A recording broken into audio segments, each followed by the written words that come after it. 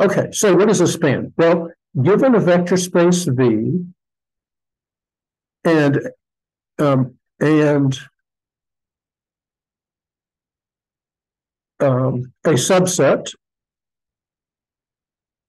subset um, S, um, the span of S sort of implicitly in V equals like if if the um, if this is composed of say some vectors, then it's going to be A times V1 plus B times V2 plus C times V3. And say if there's say if there say it could be any number, but let's just write three so so it doesn't notation doesn't go. So this is where A, B, and C are members of R. We could write it up to N. Like we have V1, V2, V3, V4, V5, V6.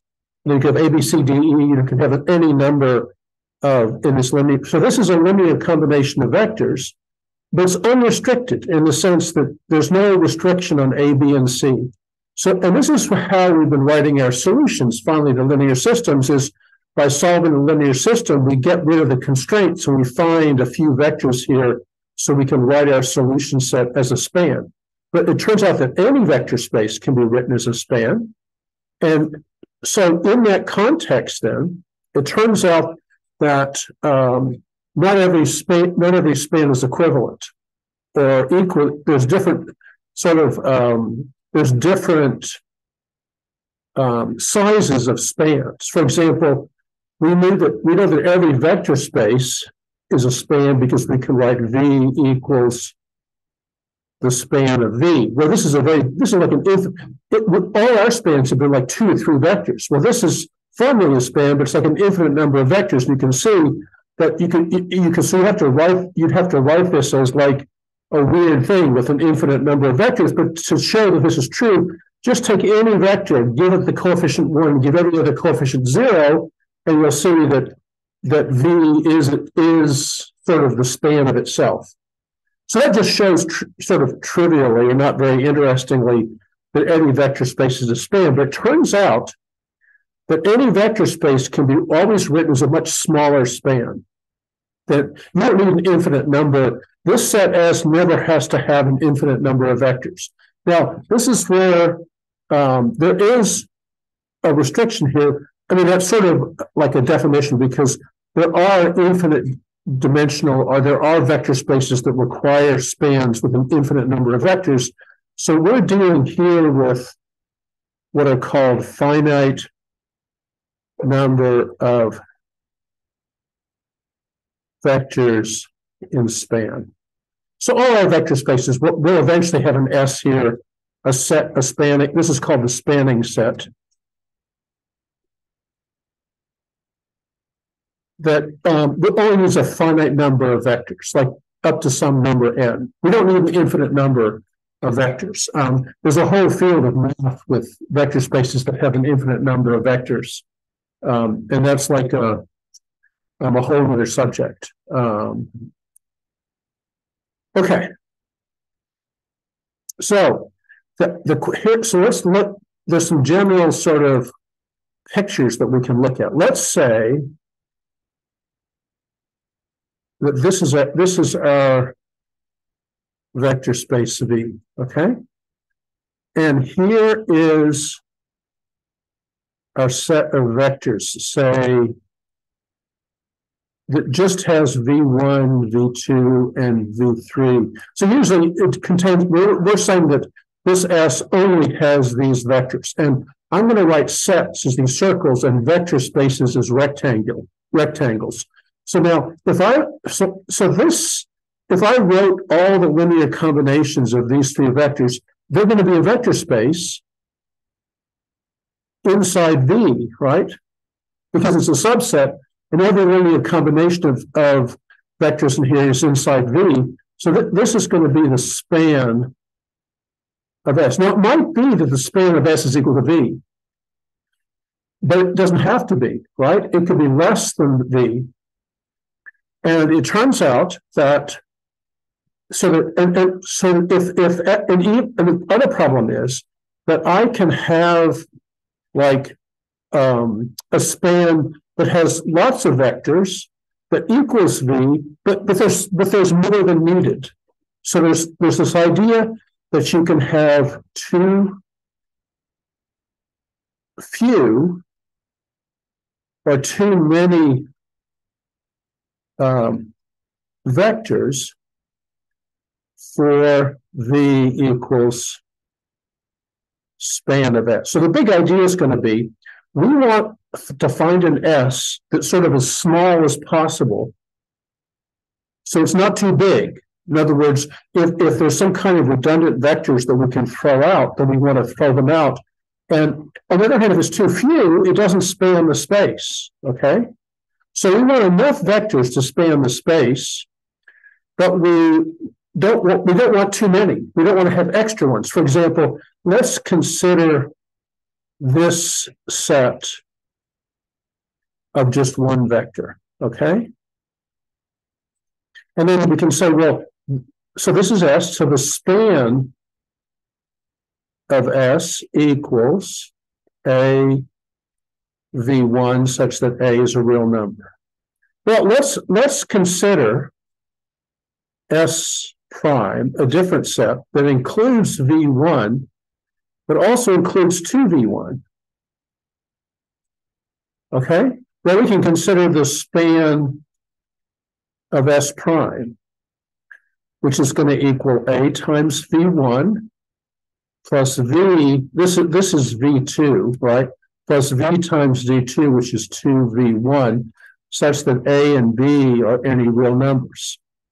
Well, well, this is sort it, it's like I can factor out this is equal to a plus 2b times v1 such that a and b are real numbers. Well, you can you can see that th- these are really the same set because I can choose any I can make a any real number. So I in particular I can write any a in this form and show that it's and I can, if I choose A and B here, I can get any real number here. So these are really the same set. I, I can't get a new vector space by adding a multiple of one in here, right? Well, you can sort of see that, right? Because if you, if each of these vectors, geometrically speaking, is sort of like a line, I can't get more space by having one vector along the line and a second vector parallel to it along the line, I'm just going to get, you know, I'm not going to get any more points or any more stuff that's along this line. I need something that's off off this line to get more to get more space, to get a larger vector space. So this leads, oh no.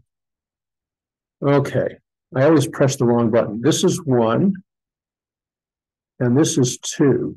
So I, up here I did page before instead of page after. So now we'll go to new page after, and this will be three.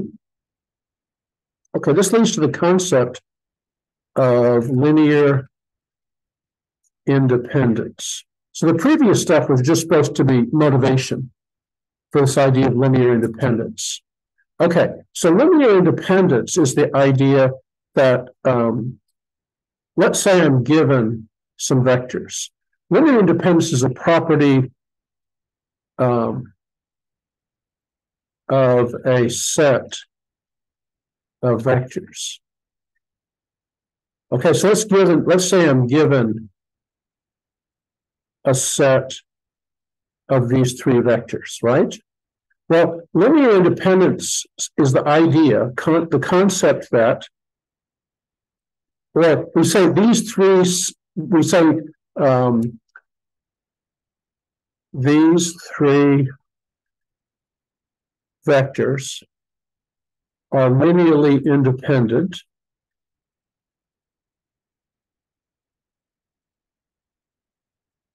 Um, if none of them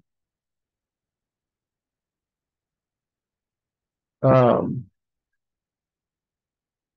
can be written as, as written as linear combinations. None can be written as linear combinations of the others. Okay, so it's, it's, a, it's a lot of words. But what it's saying is, like, it's telling you something you can't do. So that's why it's complicated. So what it's saying is, this, this means you can't write V1 equals A V2 plus B V3. Can't do this. In other words, you can't find uh, constants A and B, so this works. And you can't write V2 as A V1 plus, well, we write different different numbers here. There's no connection between as CV1 plus um, D V3 or or or this can't do this or this, and you can't write v three as e v one plus f v two.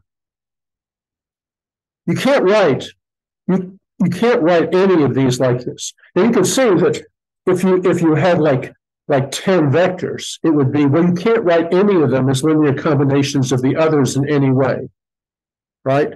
So what it's saying is, in some sense, now you notice what this is. This would be saying that V1 is in the span of V2 and V3. This one says that V2 is the span of V1 and V3, and this one says V3 is the span of V1 and V2. Somehow it's saying, now I could, if, if I, th- these are really equivalent in the sense, look, if I have V1 equals this V3, I could subtract V, and these constants A, B are not zero.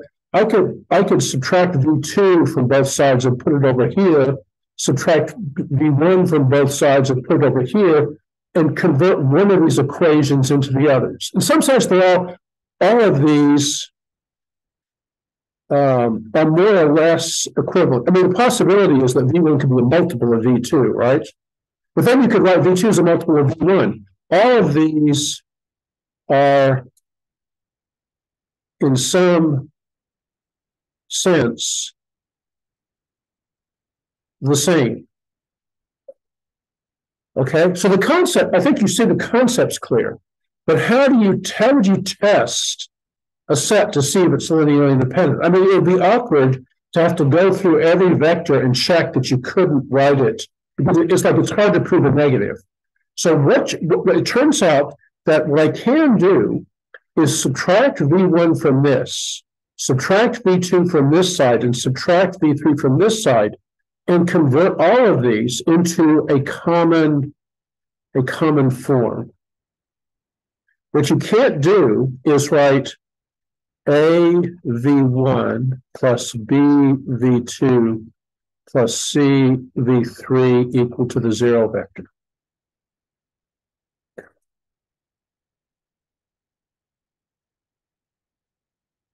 can't do this.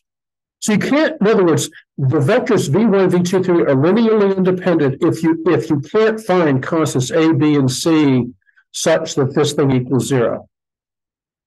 Okay, now you can see that let's say that none of these a, b's, and c's were zero.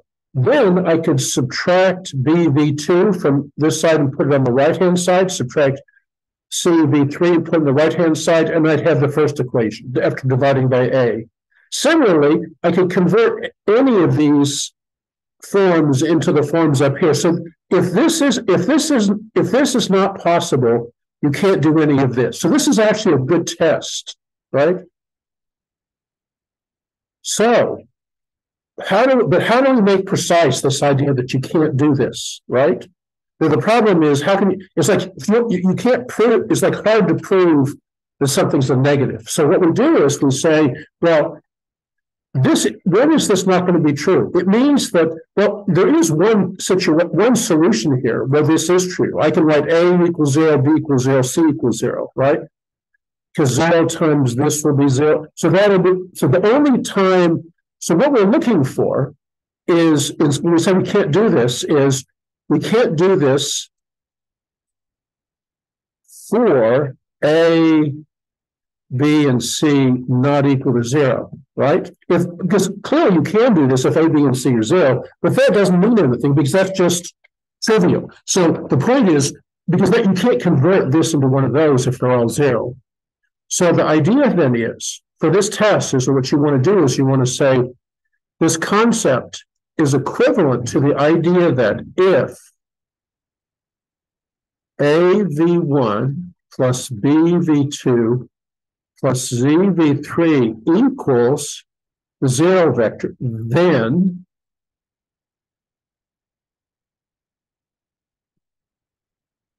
A equals B equals C equals zero. In other words, if this is true, um, if this conditional, right, it's an if then statement, is true,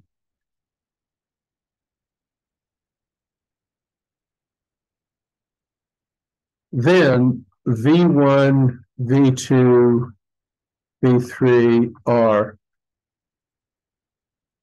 linearly independent.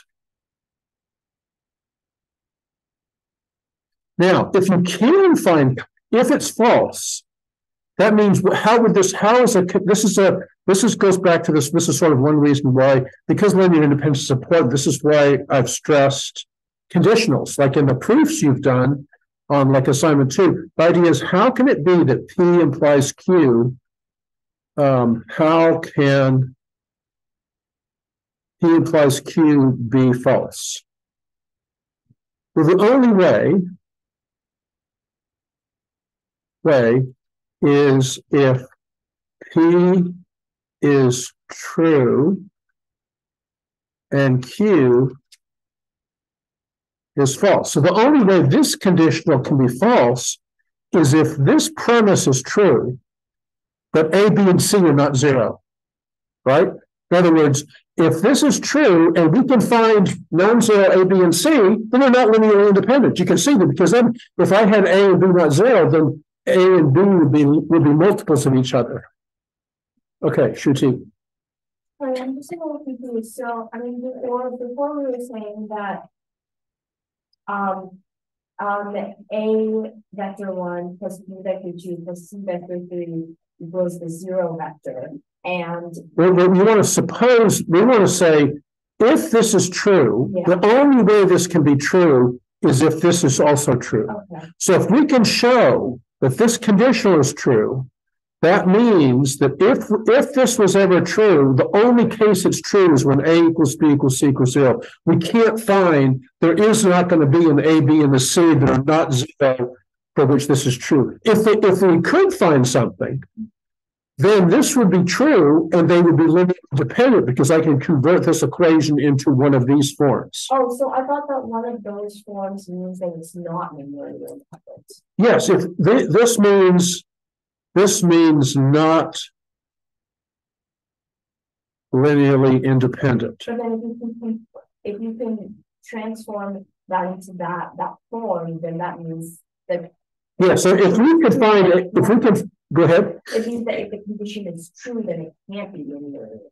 No, this is, idea is this, let's say this is true, right? Yeah, Then whenever this is true, yeah, these have to be zero. yeah, So that means there's no, if I, there's no way to say that, there's no way to write one of these as a linear combination of the others. Mhm. So this being true is equivalent to linear independence. Oh, because if you were to turn it around, then it would be like negative C ve- uh, C vector three or something, so that would Yes. actually be the what we were talking about above.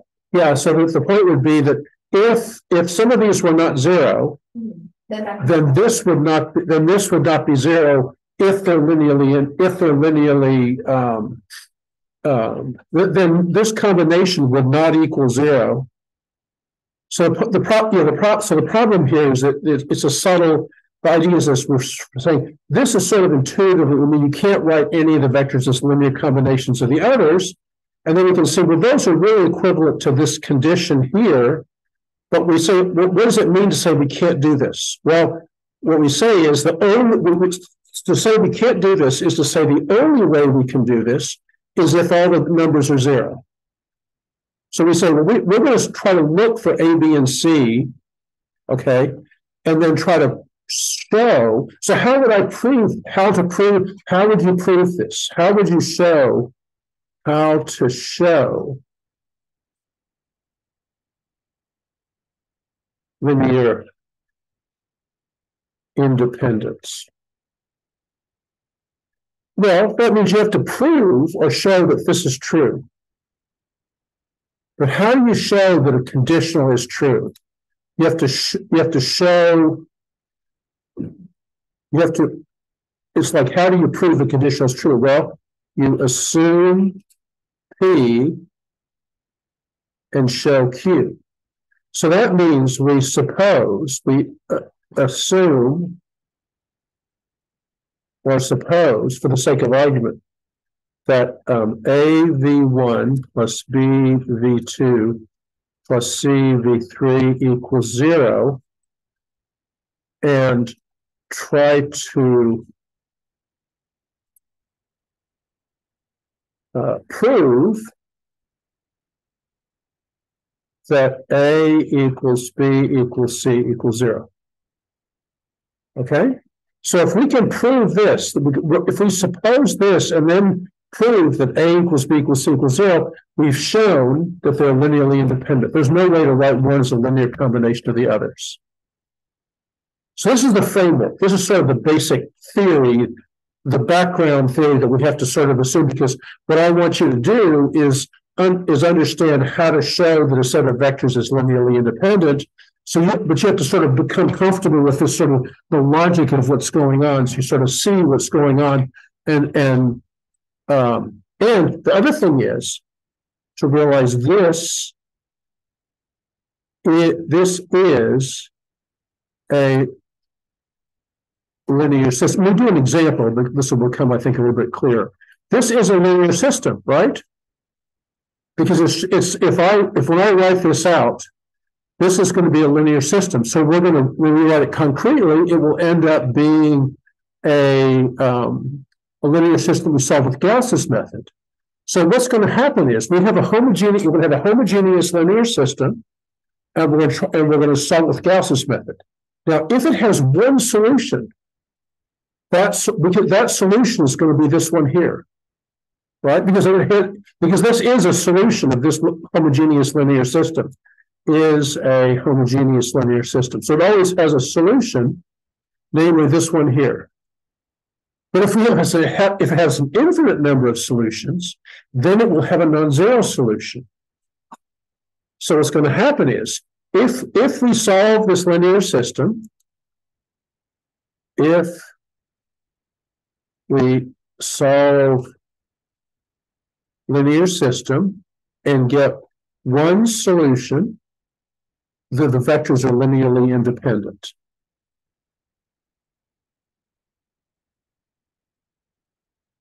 If we get an infinite number of solutions, they're uh, linear, we say they're linearly dependent because we, will be able to we'll be able to find in one of those non-zero solutions numbers a, b, and c that um, combine those vectors so that they're not so that they're equal to zero but not themselves zero. So that that means the vectors will be linearly dependent. One will be able to be written as some of the others. So basically, linear independence will come down to solving a linear system and determining whether it has a free variable or not. If it has no free variables, it will be linearly independent. If it has a free variable, it will be linearly dependent. Okay, so here we're just, we're just coming back and saying, well, this this comes down to solving. So you already know sort of the way to solve this. We have to go and sort of it's like putting the, the language in a different, thinking of it in a different way. It's something you already know how to do. It's just there's a different way of thinking about what's going on and sort of converting it into statements about spans of vectors. And we'll, we'll do examples.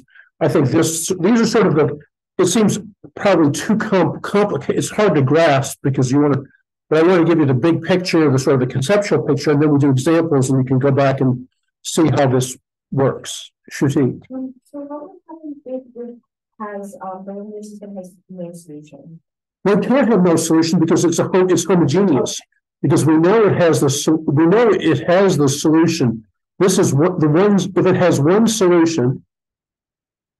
That's it. If, if there's one homogeneous, then, then there, there, there could be a contradiction. And so that, and that would be, so, so this, is telling me, okay, so let's do an example, okay?